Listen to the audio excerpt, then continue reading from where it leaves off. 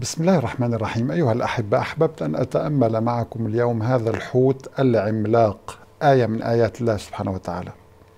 هذا الحوت أيها الأحبة عثر عليه قبالة السواحل الإيطالية. دعوني أولا أنظر من موقع Live Science أنظر إلى هذه الصورة.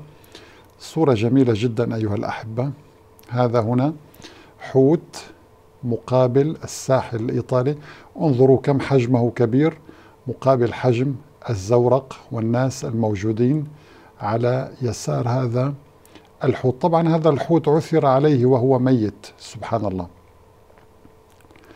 قذفت به الأمواج إلى هذا الشاطئ. انظروا أحبتي في الله هذا رجل يقف هنا. آه، انظروا كم حجم هذا الحوت. أنا أحاول أن أكبر الصورة قليلا. طيب. ماذا يقول الباحثون أيها الأحبة؟ هذا الحوت تم اكتشافه مؤخرا يعني قبل أيام من تسجيل هذه الحلقة بتاريخ 17 يناير يعني 17 واحد 2021 آه يبلغ طوله بحدود 20 مترا 20 متر. تصوروا آلة آلة طولها 20 متر. تتحرك تصطاد بحرية تعيش تتكاثر. شيء عجيب والله أيها الأحبة. وزن هذا الحوت 77 ألف كيلو غرام 77 ألف كيلو. يعتبر من أضخم الجثث التي تم العثور عليها في البحر الأبيض المتوسط. طبعا أيها الأحبة يعني أنا أحب هنا أن أتوقف قليلا مع قوله تعالى يزيد في الخلق ما يشاء يزيد في الخلق ما يشاء. أيها الإنسان كلما اكتشفت أشياء هناك أشياء أكبر تكتشفها. كلما آه، ظننت نفسك أنك اكتشفت كل شيء تجد أنك لازلت في البداية وفوق كل ذي علم عليم.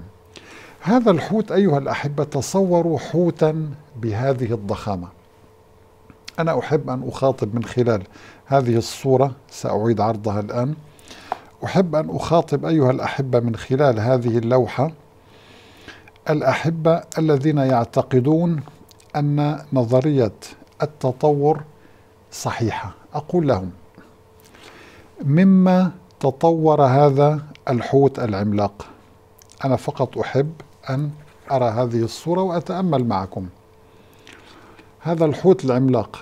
أنا أحاول هنا انظروا إلى الرجل كيف يقف كيف يبدو صغيرا جدا مقابل هذا الحوت أيها الأحبة.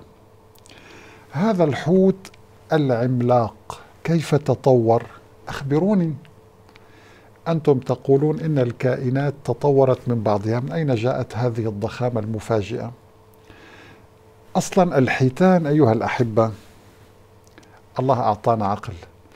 الحيتان هي كائنات ثديية ترضع أولادها لا تتكاثر بالبيوض أنثى الحوت يتم تلقيحها من قبل ذكر الحوت مثل الإنسان سبحان الله. وتحمل ويستمر الحمل لأشهر. ثم تلد تضع وليدها. ثم ترضعه بطريقة عجيبة جدا. يعني هي تضخ الحليب ثم يقترب ويأخذه.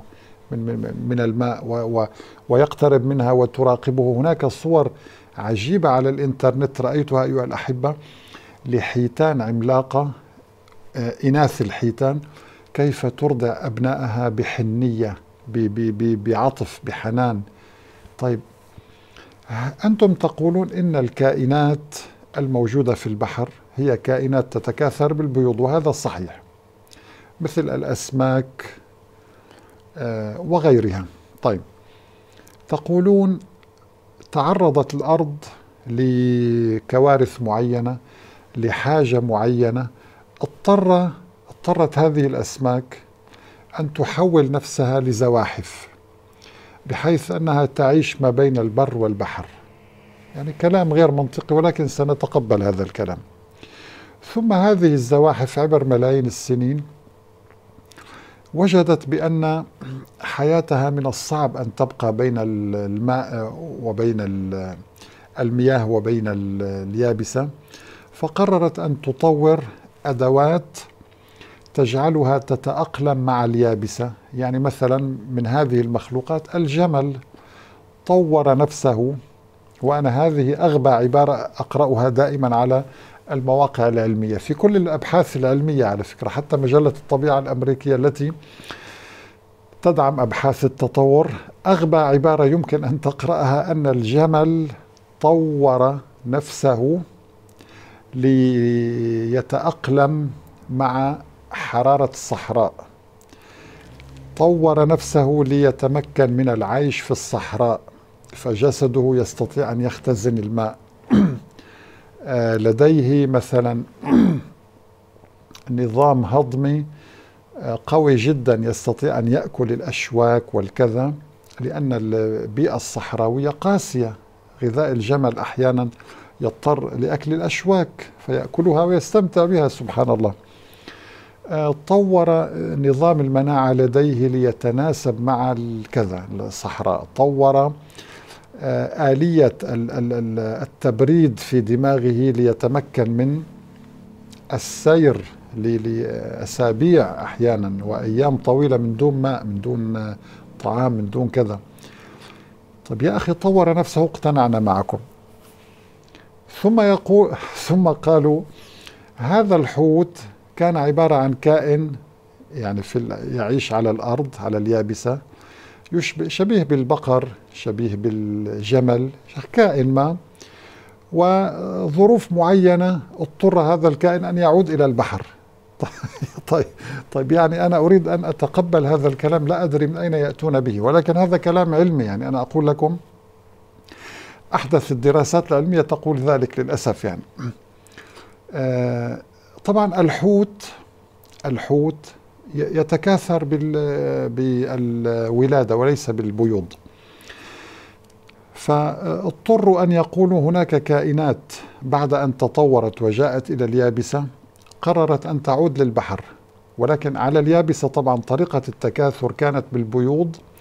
فرأت أن الطبيعة الطبيعة رأت أن هذا الأسلوب غير عملي فطورت هذا الأسلوب للتكاثر بالولادة. طيب تقبلنا هذا الكلام. بعد ذلك رأت الطبيعة أن هذه بعض الكائنات يجب أن تعود إلى البحر لتعيش في في المحيطات. فعادت هذه المخلوقات التي تشبه البقر أو كذا آه، إلى البحر ثم آه، يعني بدأت تتكاثر في البحر بالولادة وترضع أولادها ونتج عن هذه هذا التكاثر الحوت.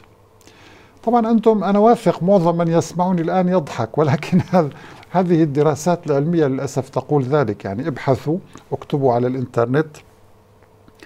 تطور الحوت كيف تطور الحوت؟ فسترون يعني نظريات وأفكار عجيبة غريبة. المهم أيها الأحبة أنا أستطيع أن أقول أيها الأحبة هذا الحوت وهذه الضخامة وهذا هذا هذا الإبداع الإلهي في في صناعة هذا الحوت يشهد على صدق الله سبحانه وتعالى الذي قال صنع الله الذي أتقن كل شيء إنه خبير بما تفعلون. أيها الملحدون هذا الإله الذي صنع هذه المخلوقات بهذا الإتقان يعلم ما تفعلون يعلم ما تقولون يعلم ما تبيتون يعلم المكر الذي تمكرونه بالمؤمنين.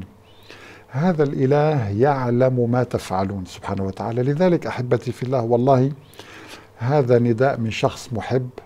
عودوا إلى الله سبحانه وتعالى. عودوا إلى المنطق العلمي. المنطق العلمي أنا أرى نظرية التطور ليس فيها منطق علمي.